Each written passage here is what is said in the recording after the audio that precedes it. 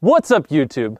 I think we can all agree that 2020 might be the only thing in existence worse than 2018 Rewind. Yeah. But a lot of good things still did happen this year. And let's be honest, it just wouldn't be YouTube if we didn't have a Rewind to make fun of. So enjoy.